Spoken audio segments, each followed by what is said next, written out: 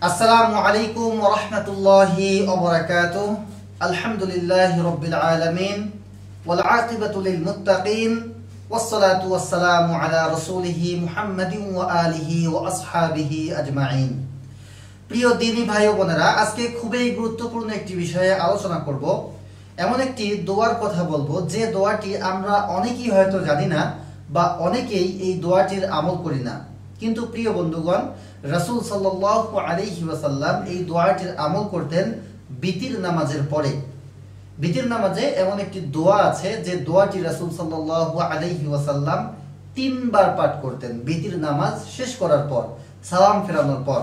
তো বন্ধুগণ এই সম্পর্কে একটি হাদিস উল্লেখ হয়েছে সুনানে আন নাসাইতে হাদিস নাম্বার এক হাজার সাতশো চৌত্রিশ। আব্দুর রহমান ইবনু আবজা রাজিয়াল্লাহু তাআলা আনহু থেকে বর্ণিত তিনি বলেন, রাসূলুল্লাহ সাল্লাল্লাহু আলাইহি ওয়াসাল্লাম, সাব্বিহ রাব্বিকাল আ'লা, কুল ইয়া আইয়ুহাল কাফিরুন, এবং কুল হুয়াল্লাহু আহাদ দ্বারা বিতির সালাত আদায় করতেন, এবং যখন সালাম ফিরাতেন ও সালাম থেকে অবসর হয়ে যেতেন, তখন তিনবার এই দোয়াটি করতেন এবং তৃতীয়বারে তা দীর্ঘ করতেন। বন্ধুগণ, আপনারা হাদিসটি শুনলেন। হাদিসের মধ্যে যে দোয়ার কথা উল্লেখ হয়েছে, দোয়াটি হলো, সুবহানাল মালিকিল কুদ্দুস, রব্বিল মালাইকাতি ওয়ার প্রিয় বন্ধুগণ, আমি দোয়াটির বাংলা উচ্চারণ লিখে দিয়েছি। আপনারা দেখে দেখে দোয়াটি মুখস্থ করে নেবেন।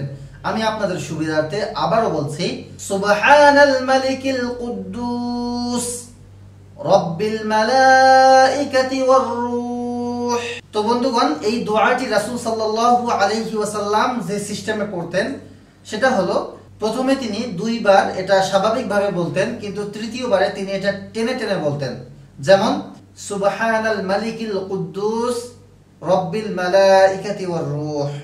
সুবহানাল মালিকিল কুদ্দুস, রব্বিল মালাইকাতি ওয়ার রূহ। তৃতীয়বারে তিনি টেনে টেনে বলতেন, সুবহানাল মালিকিল কুদ্দুস, রব্বিল মালাইকাতি ওয়ার রূহ। তো বন্ধুগণ, এই দোয়াটির অনেক ফাজাইল রয়েছে।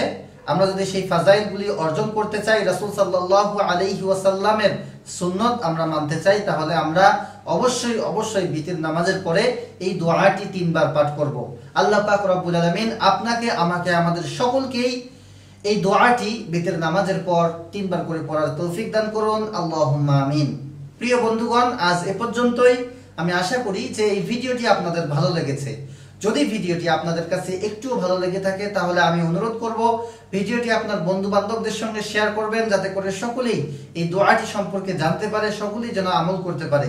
আর বন্ধুগণ, নিয়মিত আপনারা যদি আমার এই চ্যানেলের সকল ইসলামিক ভিডিও পেতে চান, সুন্দর সুন্দর দোয়া, হাদিস, মাসলা, মাসাইল সম্পর্কে জানতে চান, তাহলে আমার এই চ্যানেলটি সাবস্ক্রাইব করে পাশের বেল বাটনটি অন করে রাখবেন।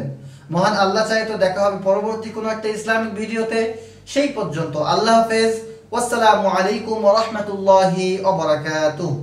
مولاي صل وسلم دائما أبدا على حبيبك خير الخلق كلهم